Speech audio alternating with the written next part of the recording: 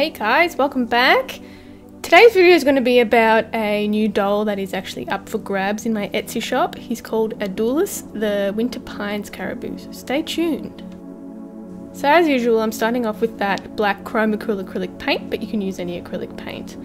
And I'm going to be painting around the eyes, nose and mouth in black and what I'm actually painting is a resin cast of a sculpture that I have moulded in silicon and cast in resin myself. So I know I had a lot of questions about what this actually is, if it's clay or resin or anything, so it's resin.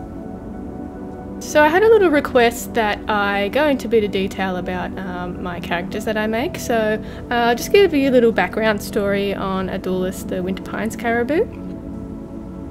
Winter pines caribous are an essential part of Clearwater. They help shape the land and assist in pollination. They have an amazing set of antlers, boasting large pine leaves covered in snow and ice.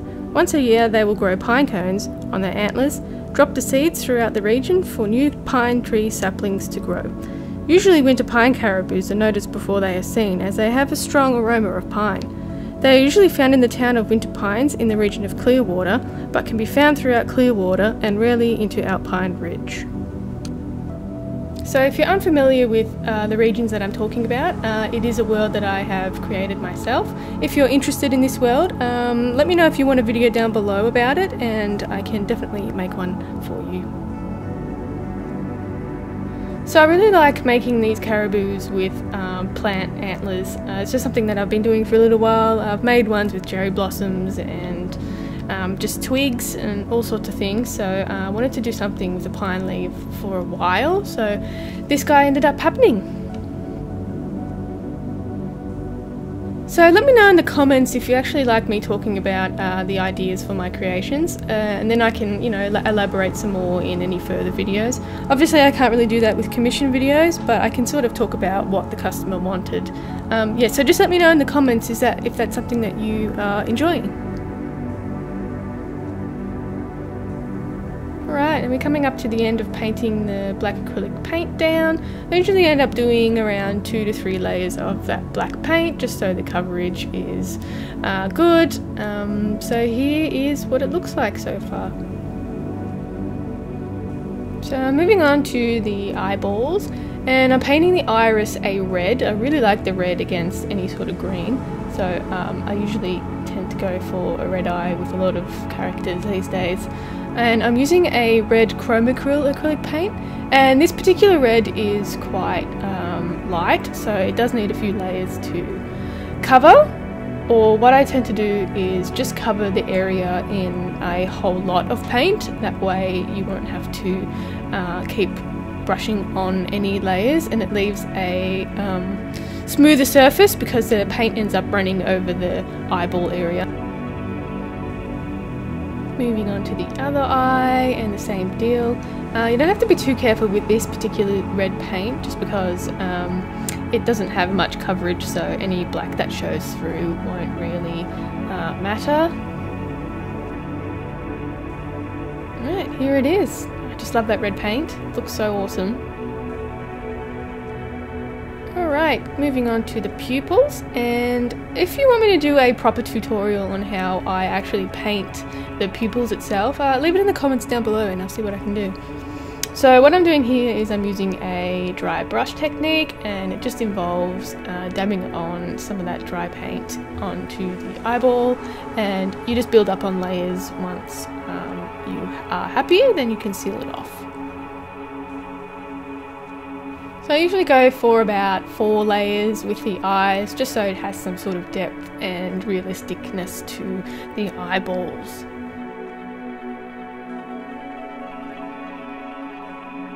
And here you can see his personality is coming out. and just going in and adding the white dots of paint to the eyeballs just to give it a little bit of character and I just use a white chroma acrylic paint. You can use it whatever acrylic paint you can get your hands on. And moving on to painting the hooves and these are typical caribou hooves. Uh, they got the two things at the back and that hoof at the front.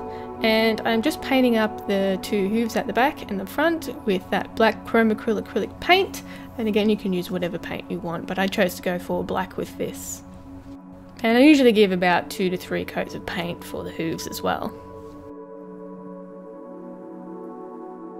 Okay, so I'm using this faux fur for the body of the caribou and it's a nice grey faux fur with a black tip and you can see I have drawn the patterns on the fabric itself and I'll be cutting it out with my scissors and remember I'm just cutting the backing of the uh, faux fur so none of the pile is cut.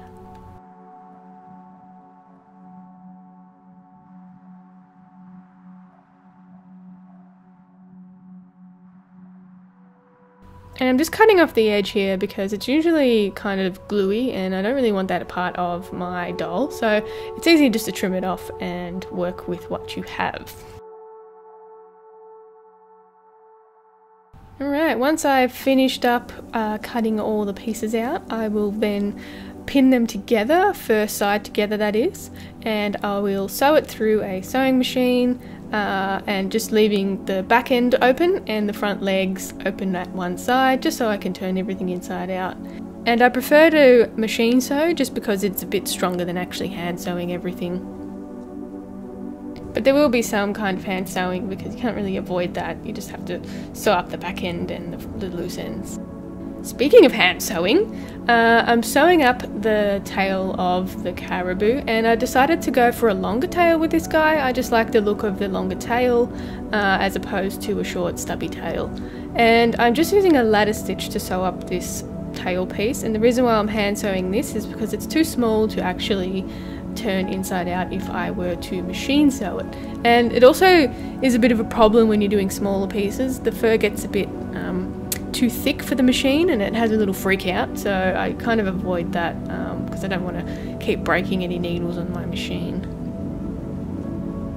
So the ladder stitch just involves going back and forth uh, on both sides of the fabric and I usually tie a knot uh, throughout the sewing just in case I break the thread.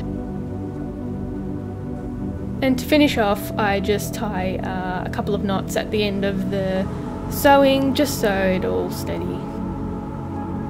And the same deal with both of the legs and the back end. Uh, I won't spend too much time showing you this part just because we've all seen it before, uh, but it just involves that same ladder stitch going from uh, one side of the fabric to the other to close it up blindly and so the fur sits flush against each other and you can't notice.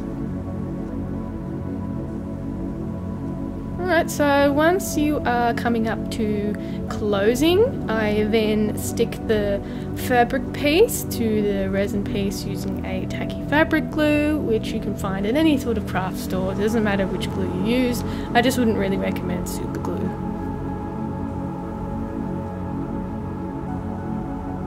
So I usually just pile that glue up in there, the more the merrier, uh, and just stick that fabric piece right over that resin piece. Uh, if you can feed it in there, have a bit of trouble not to get the glue on the fur bits, but uh, if you just get it on there and then squeeze it around with your hand, you'll end up getting a nice firm connection. So I actually decided to uh, leave some markings on this caribou and I sort of steered away from the normal markings that I normally do on my dolls um, and went for a more of a geometric type marking, which is kind of a, uh, what would you call it, an arrow or a triangle or something. And I'm actually using a fabric marker for doing this and just mainly because it leaves a nice straight line, so rather than using any sort of paint. Um, I'm thinking about making a video in the future about um, any dyes and fabric paints and markers that I use. So um, if you want to see that, uh, maybe just like the video so I know uh, you're interested in that.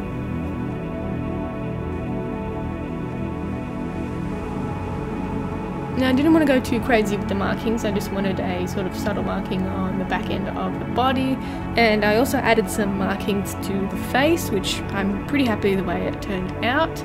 Um, so again, yeah, just wanted really subtle marking and nothing too out there.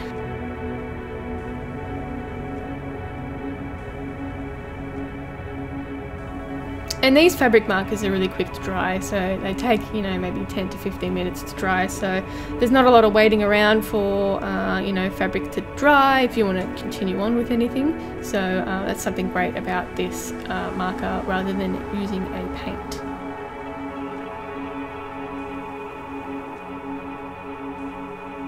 So I didn't really plan for this kind of marking, it's just what came out. Um, I tend to do that with a lot of my dolls. I don't really plan any markings unless I have a vivid image in my head.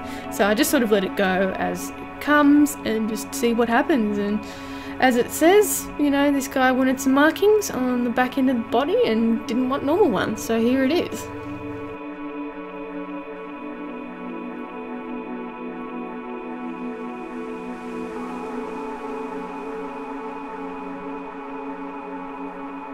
So I had no intention of running this black stripe down the back end of the caribou. It goes all the way up to the top of his head. Had no intention of doing it, but it's just what ended up coming out. But I'm pretty happy with the way it came out.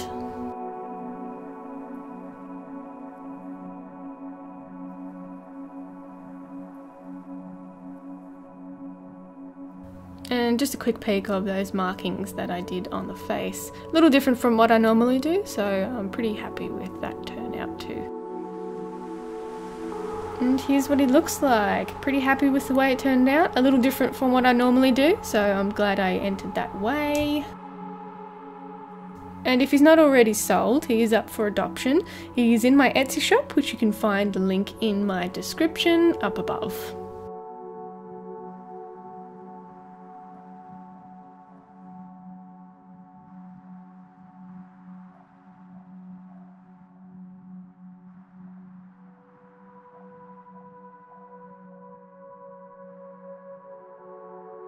And that will be it from me today, guys. I hope you enjoyed the video. If you did, give it a thumbs up and don't forget to subscribe. You can also check me out on Instagram and Facebook at Creatures of Nat. If you have any requests, leave it in the comments down below, and I'll see you in the next one. Bye!